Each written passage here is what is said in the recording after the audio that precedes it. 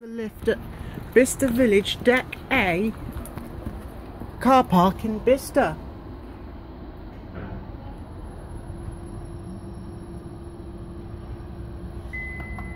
Scanning monospace lift. We'll go up to one. Capacity 13 persons, 1,000 kilos, built in 2007.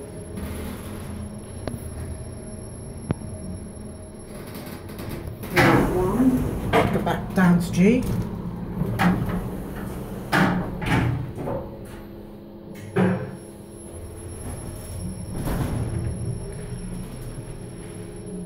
Here we are back at G.